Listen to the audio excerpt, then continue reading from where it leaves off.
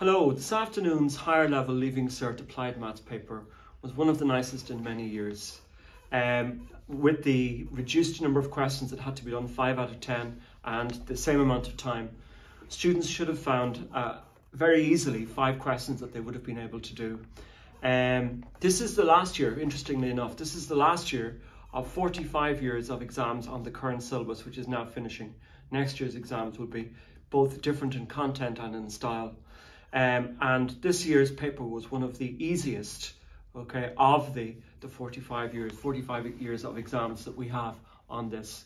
Um, there were no real tricks, there were no real crossovers. Um, questions were very familiar. Clearly it was decided to go out with the, the current style exam, to go out with a whimper rather than a bang. Just to run down through the, the questions here quickly.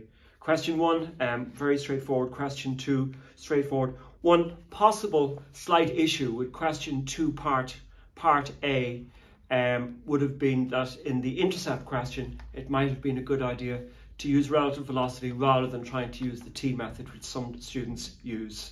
Um, question three then on projectiles was absolutely uh, standard material, comes coming up year after year after year. And question four on dynamics which is also known as pulleys and wedges, um, was probably the easiest question on that topic ever.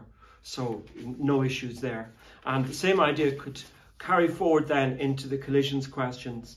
Um, the A part of the collisions question was a single direct collision involving, as so many of these A parts do, kinetic energy. And the B part involved the idea of um, angle of deflection, which has been a really common theme through questions through the late teens and then into the current into the 20s. One slight issue um, in question six would have been the uh, simple harmonic motion part using uh, differential equations there. But again, that's standard fare for simple harmonic motions.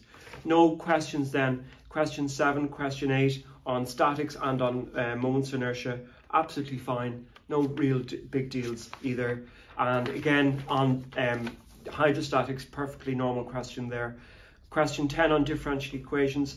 There was one potential pitfall in the beginning of question 10b where you could have written an easily the wrong equation, but the solution was given in the question, so that should have provided a safety net for people. But all in all, it was a, a really, really wonderful paper. And for those of you for whom that was the last exam, okay, all I can say to you is I hope, I hope you enjoyed the paper. I hope it went well, and I hope you now have a great summer.